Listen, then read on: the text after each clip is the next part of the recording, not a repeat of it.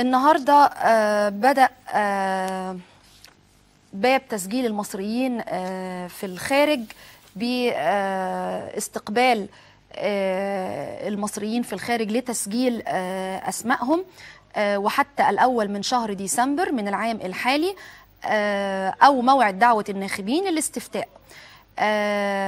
وذلك في إطار تحديث قاعدة البيانات للمصريين في الخارج ممن آه بلغوا 18 آه عام وتم حذف الوفيات وبتشير الأرقام الرسمية إلى أن عدد المصريين بالخارج بيبلغ ما يقرب من 2 مليون وسبعة من عشرة 2 مليون وسبعة من عشرة نسمة اللي ليهم حق الانتخاب. أما طبعا المصريين في الخارج أعدادهم أكثر من كده يمكن بتزيد عن عشرة ملايين. ولكن هذا الرقم خاص باللي ليهم حق الانتخاب فعلا زي ما قالت قاعدة البيانات طبعا المصريين في الخارج في الفترة الأخيرة لعبوا دورا كبيرا في الأحداث.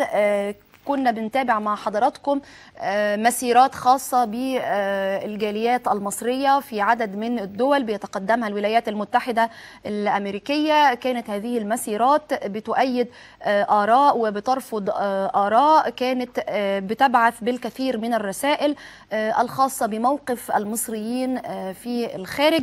وبالتالي كان ليهم دور واضح وكبير في الأحداث في مصر. طبعا بجانب دورهم اللي يعني بيتجلى في الناحية الاقتصادية بشكل كبير في مصر. معنا على الهاتف الأستاذ طارق سعد مدير قواعد البيانات باللجنة العليا للانتخابات. مساء الخير أستاذ طارق.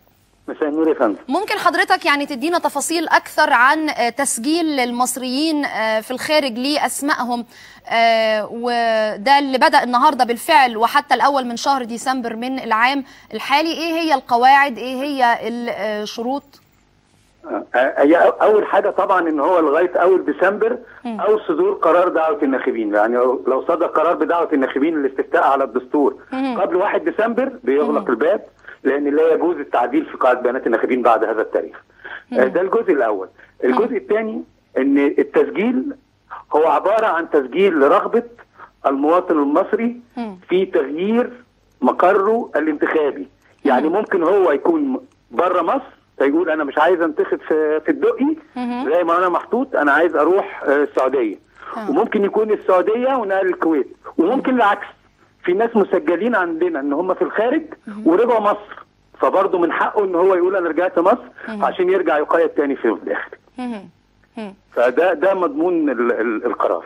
طيب القواعد الخاصة يا فندم بالمصريين في الخارج اللي عايزين يبدأوا فعلا بتسجيل أسمائهم. هم يخشوا على على موقع اللجنة العليا للانتخابات. ويبتدي يسجل اسمه يكتب رقم القومي لأن طبعا إنه لازم يكون عنده رقم قومي واستصدر بطاقة رقم قومي وليه عنوان في مصر.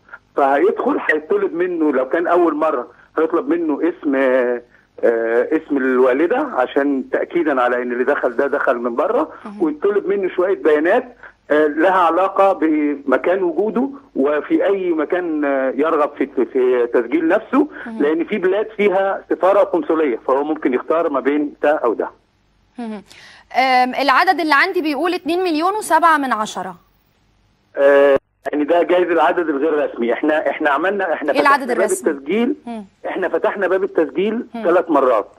آه مرة كانت مع الانتخابات برلمان.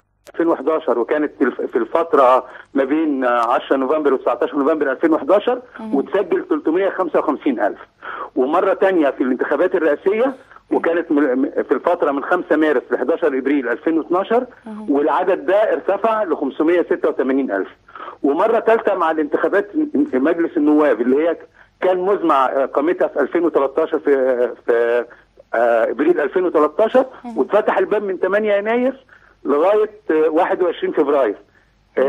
والعدد ارتفع ل 662 ألف. دول اللي مسجلين لدينا إن هم في الخارج ويرغبوا في التصويت. يعني تم تحديدهم بناء على إيه يا فندم؟ مين اللي تم يعني اخذه في هذه القائمة ومين اللي تم حذفه؟ آه، اللي اللي دخل على الموقع وسجل نفسه بس طبعا قبل ما بيسجل نفسه بالضرورة يكون هو مسجل في قاعدة بيانات الناخبين.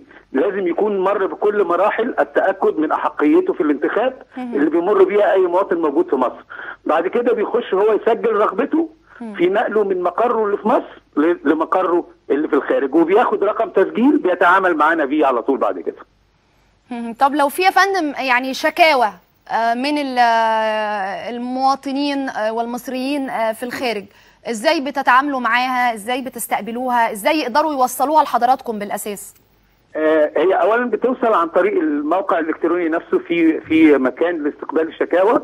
ثانيا ال- الشكاوى دي بتفرز. الشكاوى ال- الفنية منها بنتعامل معها إحنا كناس مسؤولين عن الجزء الفني.